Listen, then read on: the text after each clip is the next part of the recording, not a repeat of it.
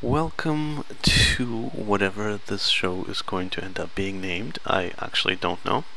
This is the um, the pilot episode of um, something that may or may not have future episodes.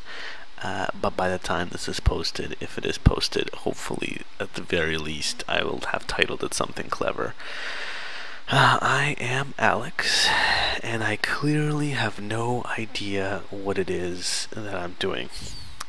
Um, this is going to be an art slash painting video cast.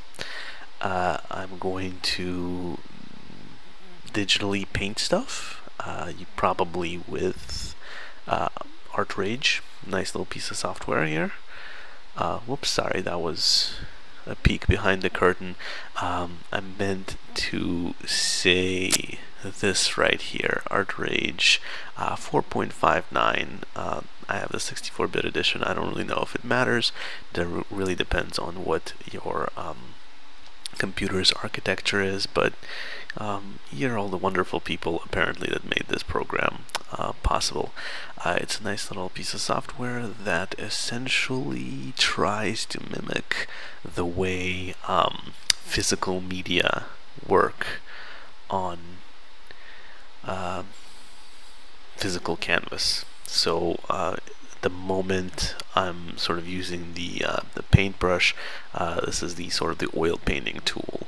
You can kind of mess around with it to choose the um, the shape of the brush to a certain extent, the rotation, stiff. Well, you know, you can see this whole sort of toolbar over here. Uh, as we go, uh, I will uh, explain a little bit more of how it works, but ultimately, this is not really an instructional uh, video uh, cast, whatever you call it. Um, even though there may be some instructive elements to it. I do have a degree in this, but how much that degree is worth is up for debate, and uh, whether or not I'm qualified to instruct in any way, shape, or form is 100% up for debate. Um, really, it's uh, more of an exercise in uh, simply getting things done letting go of perfection, um, painting for the fun of it, uh, to a certain extent, uh, a skill that I myself have lost over the years and I'm trying to regain. So it's not like I'm going to be trying to teach you how to do that. You, for all I know, you're better at it than I am. Um, but um, it's about making something and accepting that it's not going to be perfect. That's what this show is about, if anything. Accepting that having made an imperfect object is better than having obsessed in your head uh, for hours or days or weeks or years over some perfect vision that you simply are not ready to realize. So, in keeping with this theme, you might have noticed that this uh, video cast, um, this show, sounds pretty terrible. I would like to kind of make a disclaimer about that. If you care about perfect sound, this is probably not going to be the show for you. First of all, my voice, you know, it's not the most beautiful, melodious, dulcet voice in the universe.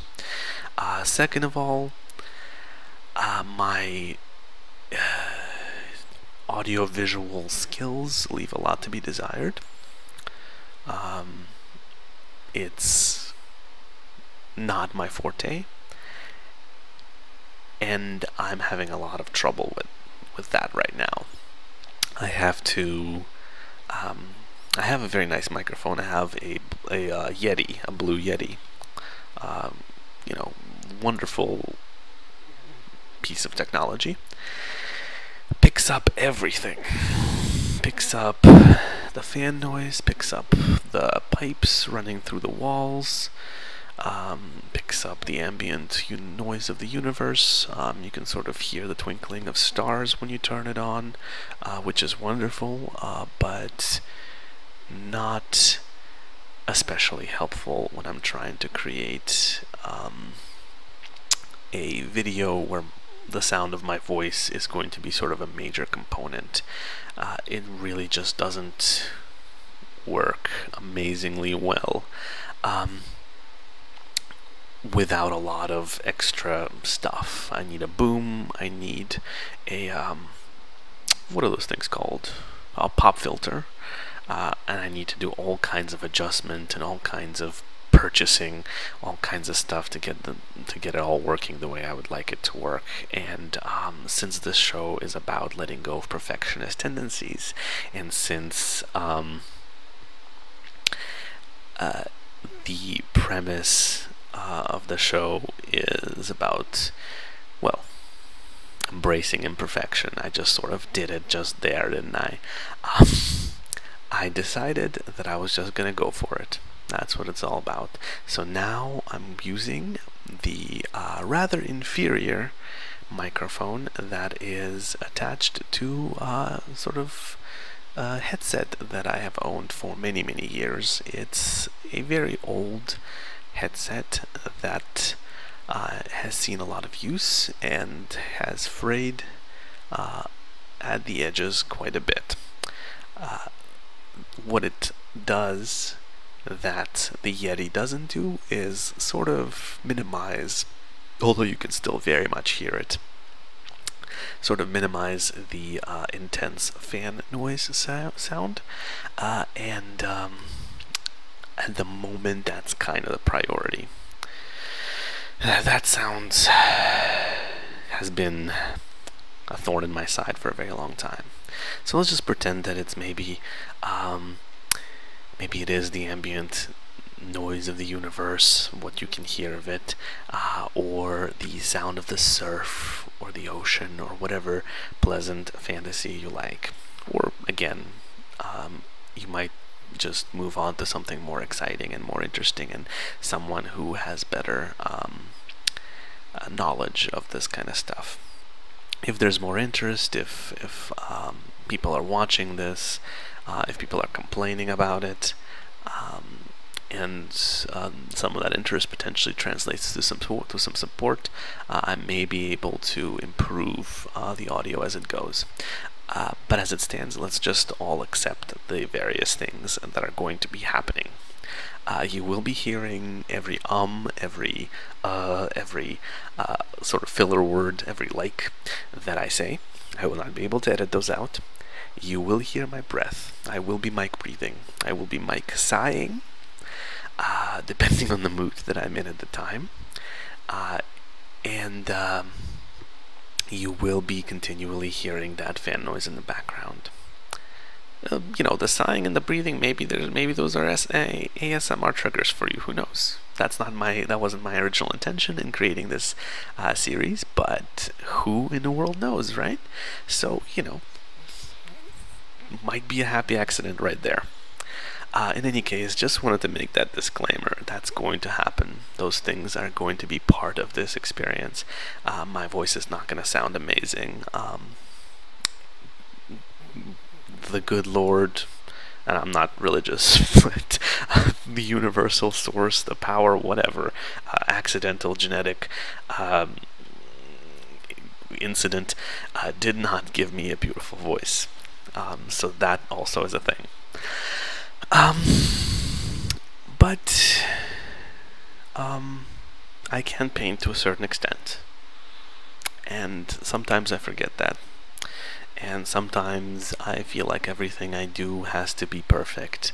Everything I make has to be perfect before I can uh, show it to people, before I can uh, respect it as a work, uh, respect the effort put into it. Uh, and that's simply untrue, and that way things do not really tend to get done as much as um, if you simply work. Um, work begets more work, as they say. So that's the idea. So we're going to um, I guess get right into it. Uh, at the beginning of each episode, I'm probably, as you have seen, I have been sort of doing something on the canvas this entire time, something very strange and weird and morphic. Um, at the beginning of the show, I'm probably going to start off if I have, you know, check-ins or just something to talk about, uh, with a little bit of a warm-up, uh, just a sort of doodle. This is what what this essentially is. It's um, it is a, digital doodle. Uh, it doesn't really uh, have intention behind it. It's simply sort of a free-flowing expression. It's forms. It's um, playing with the medium, which is a very strange medium indeed. The digital painting is not quite like real-life painting, even uh, when it tries to be, which is what ArtRage is so sort of for. Um, so it's just kind of uh, some a way to get things started. This is not going to be our main uh, work for the day, but it uh, it's just going to be a way for for me to be able to kind of freely channel myself for a little while. But again, letting go of perfection, let's let's get started on something a little bit more directed. Um, okay, I'm not going to save this and I'm going to keep the same settings. Um, this is roughly my screen size. My screen size is 1600 by 900 pixels. Um, I'm going to use the um, just a basic canvas, which is already set here, and um, that'll be that'll be it for now. Um, okay, so I'm gonna scale it back so I can see the entirety of the canvas on the screen. And again, this is not intended to be something that I hang up necessarily, although who knows. It's not intended to be something that's uh, sort of perfect. It's just intended to um, to kind of shake things up and loosen things up. So, um, today, what I thought we might do is uh, sort of a kind of a traditional theme, I suppose. Let's just do a little bit of a landscape. Um, who knows? Maybe it'll be a little bit spooky or something. Because uh, Halloween had come and gone, and I sort of failed to celebrate it as usual. Or maybe it's, well, you know what? We'll see. We'll see what emerges. So what I just did, basically, just I like to tone things. I like to work on a color. And I think what what um, ArtRage does a lot of the time is it actually um, tries to emulate the way oil paint moves and interacts with itself. It doesn't always do a perfect job of it, and I think that's that's again that works with our theme. Um, so maybe maybe a happy little seascape, right? Um, well, again, that's uh, you know I, I, I'm I'm a big fan of Bob Ross, obviously. Uh, you know his his his work I think uh, is just is given the world just so much so much amazing stuff. It's um it's very fun. It's very popular to make fun of uh, people like uh, Bob Ross or Thomas Kinkade. Um, very different uh, people actually very different uh, philosophies and um, uh, kind of viewpoints and purposes behind those works, uh, but they kind of get lumped together. It's very fashionable to make fun of them as an art school student. Um, because, you know, it's not quote unquote high art, you know? It's not Goya, I suppose. And who knows? Uh, maybe we'll we'll add a little touch of Goya to this because I love I love me some Goya but uh, but they, especially Bob Ross, he did great work um, because he gave people confidence, he gave people peace, and I, I kind of want to challenge, channel some of that a little bit. Uh, I just love turning one of those videos on and just kind of zoning out a little bit. Um, and again, my technique is very, very different from either one of those two people, definitely uh, from Thomas Kinkade. Um, and even he, you know, here's the thing, like, being an artist in today's um, well, actually, pretty much in, in, any day and age, but especially today, uh, is not not easy. It's not a calling to be taken lightly. Um, uh, when I was at art school, I um, heard a couple of people mentioning that art was a rich man's hobby. Well, it's a rich man's hobby, but it is a poor man's job, unfortunately, or poor woman, poor person's. That's just the uh, phrasing that that particular uh, individual used. They said rich man's hobby. Um, rich person's hobby, I suppose, would be more uh, appropriate. Um, but if it is something that you're called to, unfortunately, you're not. you're not going to uh, to do uh, amazingly well right away, and maybe not ever. And that's something, again, something that we uh, may need to accept. Um, and Thomas Kinkade found a way, found a market to uh, make not just a little bit, but make a very, very comfortable living, very comfortable living uh, from his work. Uh, and um, uh, you know, feed his family, uh, secure something for his uh, for his children. Uh, it, that's something to be admired to a certain extent. Yes, it's you know um, there's religious overtones to it that I personally am not interested in.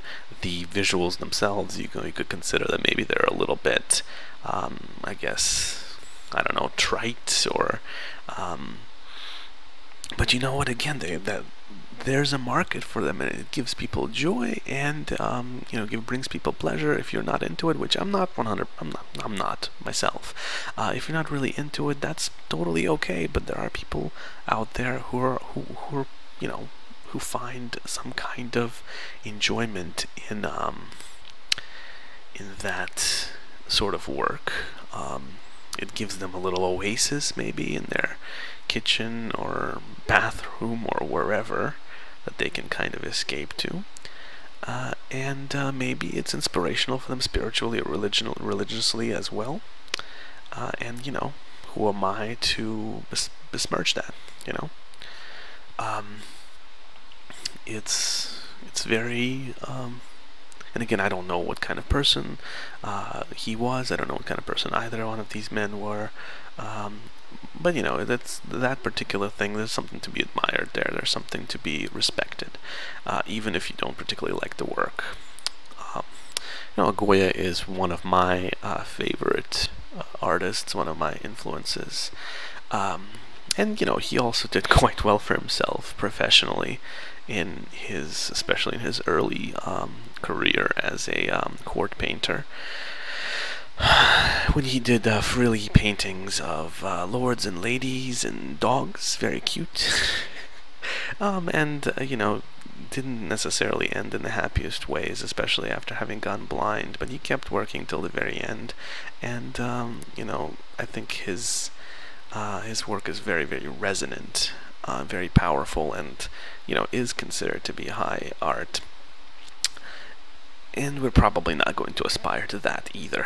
we're just gonna we're just gonna make what we can. Um, so again, I'm starting up, and you probably have been watching. If you have been watching, um, my strokes. None of this is final. That's the thing to remember. Um, and uh, the way I tend to work is kind of very, it's messy, you know. I make a lot of mistakes. I make, I have a lot of happy accidents. Um, there's really um, no other way to put it. I often mess up, and uh, part of this whole exercise is, you know, sort of therapy for me. You know, uh, for me to be able to accept that, to accept that that's going to happen. Um, and maybe if there are listeners or watchers out there, you know, maybe it'll help you uh, do the same because these aren't necessarily going to be beautiful, impressive images. Uh, they may end up just big jumbled messes. They may end up um, just, you know, giant mistakes, and that's okay. Um, that's absolutely 100% okay. That's what we're learning to embrace because every single time you mess up, you uh, learn something. It's not necessarily what doesn't kill you makes you stronger because, you know, sometimes what doesn't kill you leaves you you know maimed and crippled. but it's it's a matter of simply um, you know in a safe kind of space because making art um, when it becomes a profession or when it becomes a vocation, it can be easy to sort of uh, become stressed about it, to become bothered by it, uh, to turn it into a chore, and um, ultimately, you don't get executed if you make a terrible painting. Um, or if you make by your own personal high standards a terrible painting. Um, you don't um, end up dead. You don't end up injured. Um, you simply um, move on. You make another one. And the other one might be better.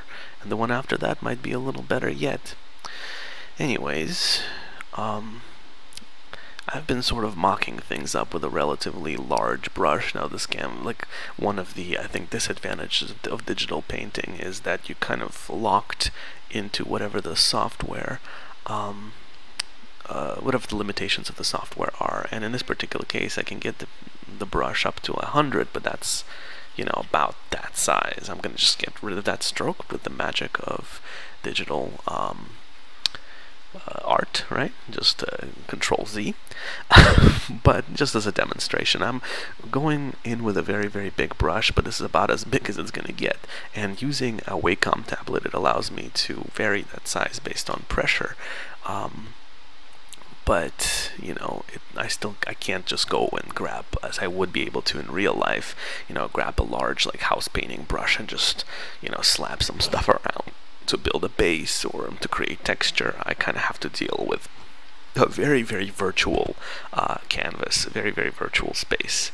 Um, in case you don't know, uh, the actual world within a painting is called the virtual space. That's kind of where, uh, well, maybe that's not where that that idea of virtual reality comes from, but that's uh, one of the um, older uses of the word virtual in relation to sort of imagery, right?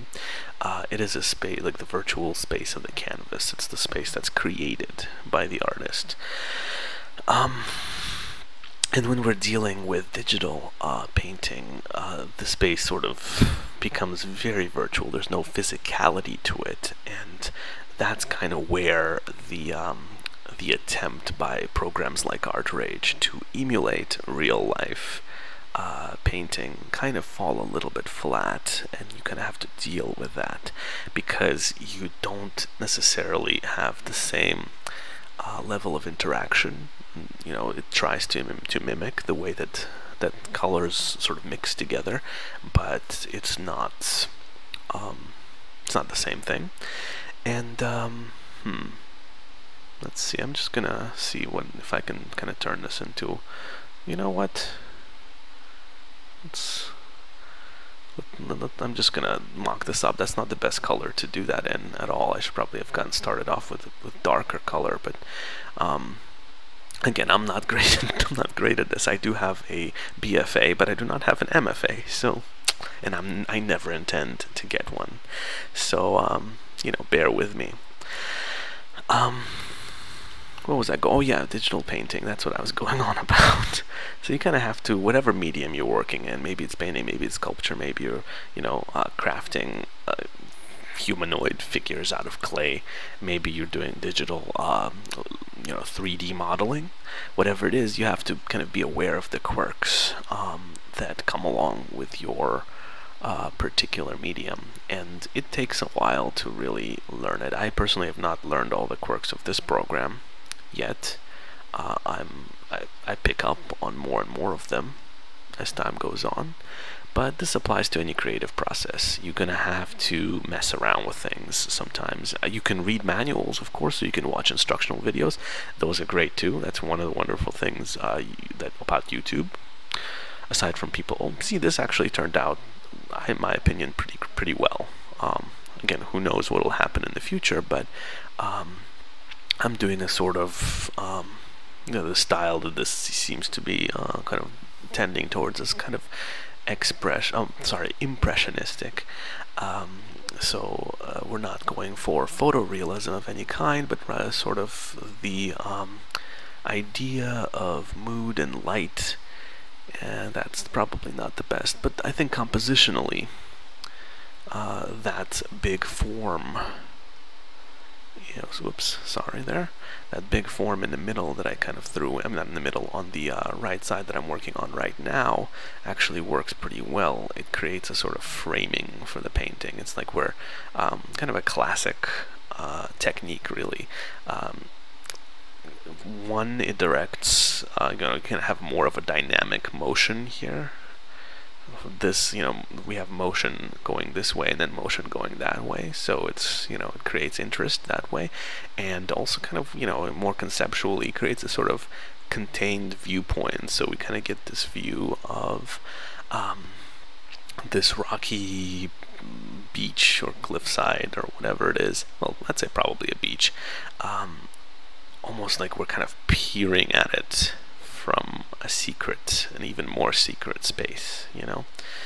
Um, so you know, I think that uh, whatever whether the shape of this is perfect or not, I think it actually turned out to be a good decision. Sometimes just sort of go with whatever uh, if you're if you're doing an improvisational painting like this, um, which again is not necessarily always the the best thing to do for every situation. It's you know something that can be very relaxing to do, or something that'll allow you to um, to sort of work out some ideas or some thoughts. But if you're doing improvisational painting, um, you know, don't be afraid to um, to make mistakes or make bold decisions or what have you again, that's something that I think um, was one of the things that I really appreciated in in, in Bob Ross's work and his uh, instructions. Um, it's it's something that um, that sort of allows you to be free to let go of those preconceived expectations. See, I don't actually know what I'm doing right here. This is complete nonsense, but you know, well, let's block this off a little bit and then then we'll come back to it. I think I think we can, you know, kind of get away with this being a relatively flat, dark shape, you know, um, without necessarily massive amounts of definition. I think that might actually make that stronger. yeah, anyways, just play, you know, I think with, when you're working digitally, you gotta play around with the tool set that you're given, and it's not always, sort pretty much just never perfect um, or it's not perfectly transparent to you. A lot of people like to use Photoshop, um, for example, for uh, this kind of painting, and I think that's uh, great. Sorry if there was a really unpleasant noise in your microphone just now. That's going to happen. Um, uh, you know, whatever whatever program you use, ArtRage is very particular in that it, um, again, it, it, creates this sort of um, uh, sort of simulation for you of, of the way paint works together. So like for example, oops, see there you go. Like, you know, you don't necessarily have the same amount of fine-grained control uh, of digital work as you would in physical in the physical realm. Um, it tries to create a simulation. So if I kind of go in here with um, with a gray, you can see kind of sort of, if you look closely, you can see the paint kind of moving around and blending in there. Uh, and that's very nice, but it's also not a physical situation because it's digital. Um, it's going to glitch. There's going to be bugs. There's going to be artifacts. And they may not even be visible on a small on sort of this scale. Like when you zoom in you'll actually see that things uh, might appear a little bit different from what you would expect in the real world um, you know so fight against those issues fight with them uh, work with them they will be there, they will be present. Um, they're kind of part of the process. That's my um, view of it. And again, uh, the reason I'm making this is because I'm mostly telling all of this to myself. I myself am not um, always the best at that. Perfectionism, perfectionistic tendencies are uh, a thing that I have, and because everything I make is going to inevitably be imperfect, um, that particular problem can really lead to a lot of distress and discomfort, especially if you um, kind of went to um, to an art institution, spend lots of time and money and energy on that, um, and are supposed to quote unquote be a real artist, you know, it can really um, bog you down. And it shouldn't. It really shouldn't. Um, that's just kind of contrary to the spirit of the thing. And it's unfortunate because we all have to make a living and oh, it's time to do some clouds. we all have to make a living and it's it's hard, you know. You know. So anyways, I can adjust the um, size here. Again, this is not a tutorial. This is not um, I mean again, it's not this is not literally the joy of painting too despite the fact that I kind of aspire to that kind of, I clearly aspire to that kind of effect maybe. Um, because there's nothing really intentionally instructional about it at least not right now.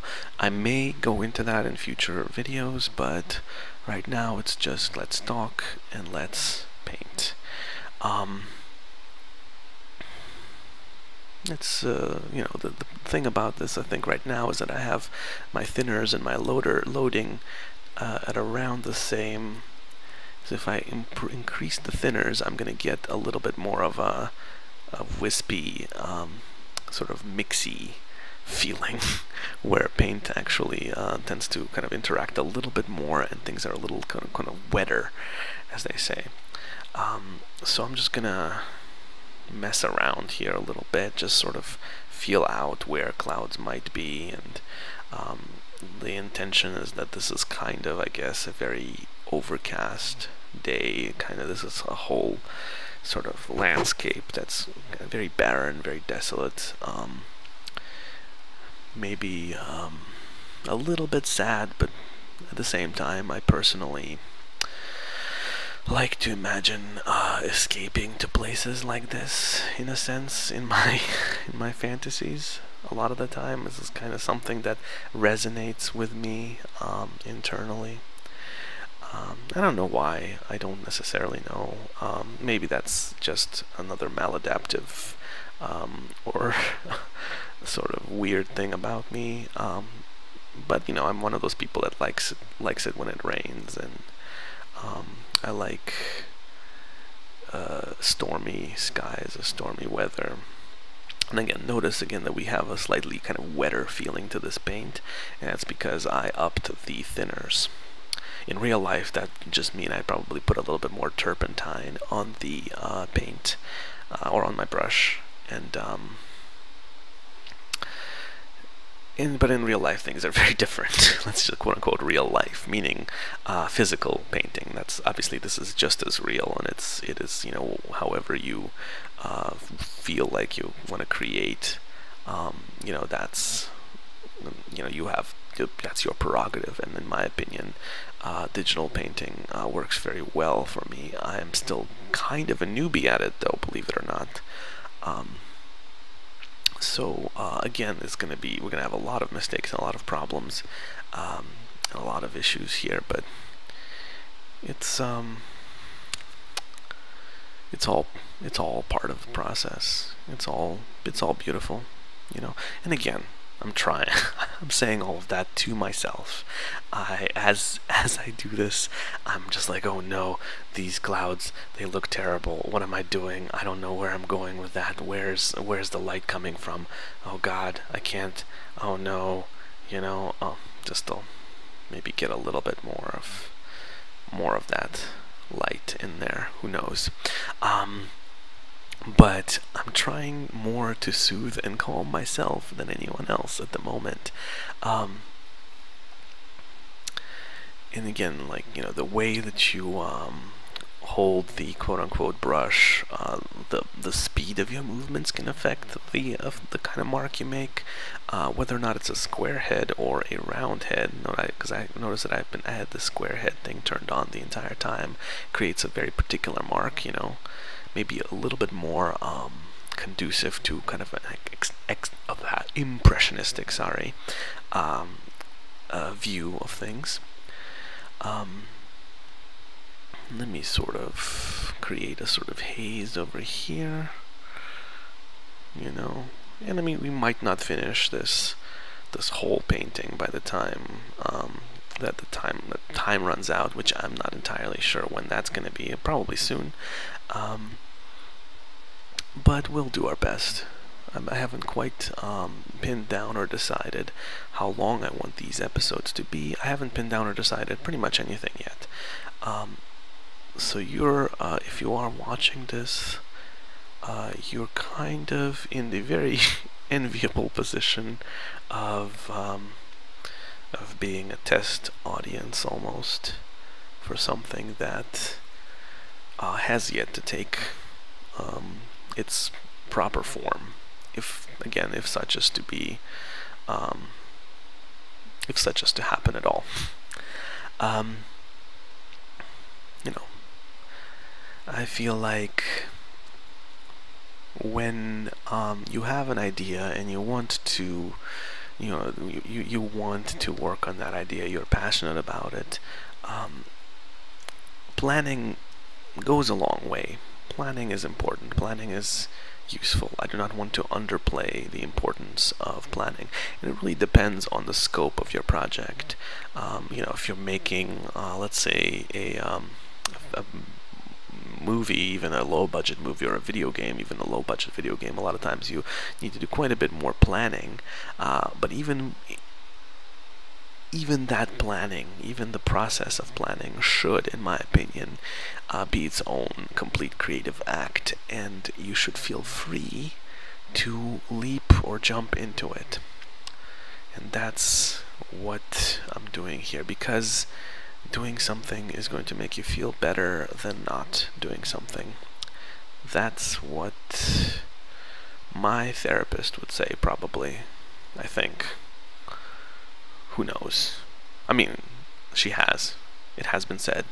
so, so you know, uh, inactivity will um, tend to make things fester potentially, and um, ideas can end up being sort of um, more of a burden than a um, than an inspiration if you allow them to fester. Um, there's a really good episode of Radiolab that uh, I think basically led me to be able to finish my first novel, which is not good. Again, um, this is not me being self-deprecating. It's is just me being realistic to a certain extent. I mean, there are a lot of problems with it that I would personally like to fix if I were to ever publish that novel, but I wrote one, right? You know, this wasn't NaNoWriMo, I kind of just decided to write one and I eventually, and I kind of did. Um, but it was inspired by this Radiolab episode, and I think it was on, um, ooh, look at that. Look what's happening over here. That's what I mean uh, about, like, this is essentially uh, kind of a kind of a glitch that we're gonna have to deal with. Um, this really actual real paint wouldn't behave this way. Uh, sometimes it's well, it's sort of well, what, what's happening, I guess, is it's sort of wearing down, quote unquote. The thinners are wearing down the underlying uh, layer of paint, the, the, the base layer. Um, anyways, this episode was on Ulysses contracts, which is, you know, when Odysseus um, was swimming through the sea of the sirens. I forget what the, there's a more official fancy name for that particular spot of the ocean where the sirens hang out. Um, he was, um, and Ulysses would be the sort of the, I guess the Roman name. Um, he was ext extremely curious to find out what the siren sounded like because of course by all accounts it, the music was beautiful. But he was aware of the fact that if you um you know give in to to their wiles uh, you would um, you know you would want to steer the ship towards the noise and it would eventually crash on the rocks and then the sirens being terrifying creatures uh, would come and eat you uh, tear you apart with their claws and so forth and so on. Uh, so what he did was he uh, made his men um, wear uh, wax or put wax in their ears so they couldn't hear the noise. But he himself, because of his curiosity, um, told them to lash him to the mast. Uh, meaning to tie him up to the mast so and, and leave his ears unplugged um, and he also told them that uh, he was aware of the fact that his judgment would be greatly impaired uh, during the uh, siren song. So he told them that no matter how much he begged and no matter what he told them, they would steer the ship away from the noise and not towards it or from the song. And of course, it worked. And you know his prediction was true. He did in fact beg and plead for them to to move towards the sound, and they well probably didn't even hear him. But anyways, the episode of Radiolab, which is a very nice NPR show, um, which I don't listen to anymore because it's way too depressing. that particular episode of the Radiolab uh, dealt with Ulysses contracts of different kinds and kind of how they affect us. I think the last segment of that episode was about creativity, and um, and I think they had Elizabeth Gilbert on, who I have a great deal of respect for, just from her appearances on various uh, podcasts and radio shows. She seems like a wonderful lady. I have not read any of her work. She's, uh, I think, notably um, known for Eat, Pray, Love, uh, which is something she did, and she ate and prayed and lo- loved. I guess I don't, I, um, you know, I don't know the details. She seems like an absolutely um, wonderful person, uh, based on what I've seen. Uh, but uh, they had her on, and she was sort of talking about being kind of kind to her muse and indulge, remembering to, at the very least, indulge uh, your muse, uh, even if you if you cannot or if you're not ready to work on a particular um, project, you should uh, nevertheless give it the full respect, like almost treat it as a as a being, as a spirit, you know, however uh, strange that sounds, uh, and however kooky. Um, so um, you know that kind of led me to I was sort of in in a, very torpid period of my life at the time. I really wasn't uh, sure what to do, just as I am maybe now, um, or where to go. Uh, and I really kind of wanted to write a book, but I, um, you know, if you've ever tried to go there, you know that how easy it is to make excuses, you know, uh, inspiration is just not striking, blah, blah, blah. And I think that really, really helped me um, kind of put things in perspective. There was a really good story. I think she was the one who told it. Uh, she interviewed Tom Waits, who is also fantastic in my opinion. I'm a big Tom Waits fan.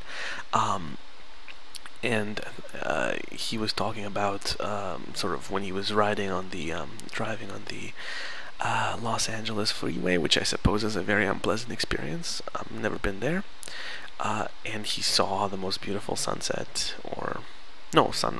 I guess sunrise. One of those two. When the sun gets all red and whatever. Um, and the um, inspiration for one of his songs sort of started flooding on him, but he had no paper, uh, no pencils, no tools to write it down, and he was in the middle of driving, even if he was in traffic and uh, he kind of had to talk to his um, muse at the time and say like, "Hey, we're gonna deal with this, but um, but could you please come back later? Because can't you see that I'm busy? Um, if or else go bother Leonard Cohen, which I thought was a very was I thought was that was fun, um, because you know, you, you Tom Waits, Leonard Cohen, they have similar sounding voices, I guess maybe. Um, so, I, so the point of that, and again, uh, my whole brand is is long, um, uh, sort of long rambles and tangents. The point of that is that um, when you have something that you want to work on, um, do your best to give it respect, to give your best to, to address it. Just like, you know, this show, which is inc incredibly imperfect and um, at this point, you know, who knows how it's going to turn out. Um, you know, just like this painting, which is not going to be finished by the time we're done with the show. Maybe we'll continue it the next episode. I don't know.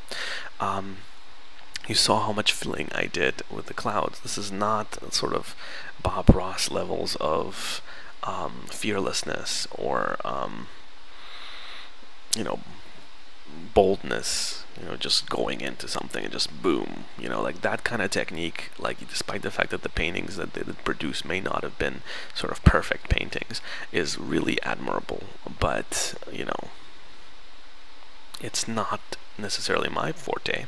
It's not something that I can do.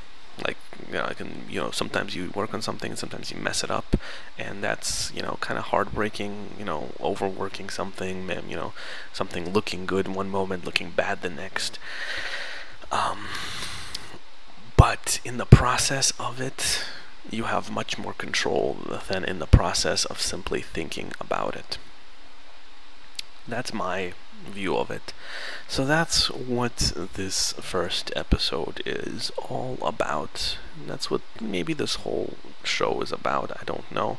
Um, but this first episode is about making something or making a sort of start of something that is very, very, very imperfect. And then doing it anyway. That's what I tell myself um, if I have the bravery to post this up, um, then I suppose this philosophy will have borne out and will have borne fruit. If I don't, then who knows? But if you're listening to this, then I, obviously I did. Um, again, these clouds are getting very, very strange and ominous, and they're kind of coming from, seem to be emanating from that central point, which is very odd in and of itself. Uh, maybe there's some sort of dark demon uh, Sauron tower over here, um, where from which the the Dark Lord um, marshals his forces, right? So maybe maybe it has um, it has a little uh, oh whoa digital painting, right? Am I right or am I right? Uh, maybe it has like a, a dark, glowing light that emanates from it and kind of uh, girds the edges of these clouds in its sinister glow. You know, like it's a it's a large and evil uh, pillar where um, from which oh let me let me up the loading here a little bit. When you loading is how much paint you uh, you have on your brush for the folks those folks who don't um, know. Uh, right so let's make it dark and scary. Yes. So here we have a happy little wizard's tower. Not super happy just a wizard's tower that um, you know uh, sort of casts its shadow and its uh, dark sway across this uh, barren landscape. You know, maybe this is the sea, maybe it's the desert, maybe this is Mordor, huh? Who knows? Um, we are the masters of our own destiny, aren't we? And um, and we can create whatever we like. And sometimes we find little surprises in our paintings. Um, like you know the the dark eye of Sauron right over there. You know, who knows what's going to happen? Who knows what could happen? Anything is possible. That's the beauty of art, isn't it? All right. Um, I'm I'm gonna leave this off here. Uh, at this very very imperfect beginning of a painting. Um, and mm, we'll see. Maybe next time we'll start on something completely new uh, or maybe next time we will start uh, or we will just kind of pick up where we left off. Um, that might actually be a little easier for me kind of for early um, for the early parts of this quote-unquote program um, to see where this could go. Could be interesting could be fun could be interesting how much we can mess it up and how much we can uh, improve it. Um, Oh, fun. This is fun. now we're having fun. Just as I'm about to sign off, now we finally found a an, an amazing direction to take this. Maybe put a little, a couple of happy little orcs over here that you know maybe uh, are kneeling in some kind of supplication to the to the Dark Lords. Um, uh, sway upon them. Uh, maybe um, maybe a couple of evil fortresses over here, happy little evil fortresses. Uh, maybe not. Maybe this will be gone by next time, and we'll be back to uh, moody seascape without any fantastic elements. Um, who in the world knows? Uh, but it's just started having a little bit of fun uh, with this uh, as we signed off, as we're about to sign off. Um, well, we'll see. Um, I might come back to this particular. I'm going to save this particular painting. I might come back to it later and see how it uh, goes. Um, let me maybe put it into full screen very briefly. Um, workbench mode.